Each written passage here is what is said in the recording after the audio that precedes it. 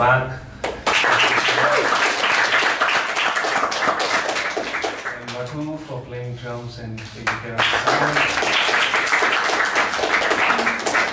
My dear friend Anirudh for the cymbals.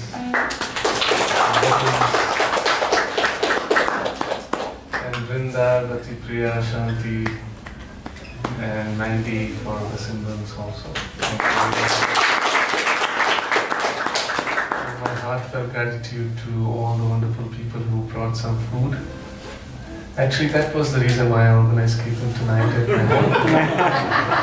because Anuradha is not here. I thought, what should be my dinner plans? They might as well have Kirtan.